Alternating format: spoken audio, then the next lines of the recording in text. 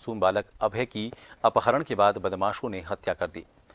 पकड़े गए दो अपहरणकर्ताओं की निशानदेही पर बच्चे के शव को देहरादून पुलिस ने बरामद कर लिया है। देवबंद पुलिस ने शव को कब्जे में लेकर पोस्टमार्टम के लिए भेजा है। दरअसल सीसीटीवी फुटेज देखने पर पता चला कि देहरादून में ही पप्पू के घर पर काम करने वाले वेल्डर ने बच्चे का अपहरण किया था। इसके बाद उसने बच्चे को अपने साथी के साथ देवबंद भेज दिया और 10 लाख रुपए की फिरौती मांगी थी।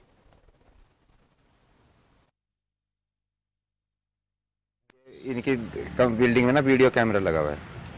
इन्हीं की जो जिनका बेटा था ना उसकी बिल्डिंग में वीडियो कैमरा लगा हुआ था उससे पता लगा कि ये बंदा उठा के लेगा। इसके घर पे उसके माँ बाप को उठाए तब उसने बताया कि वो वाला बच्चा तो अनीस के पास है दूसरा वाला एक और अनीस पोंटा का।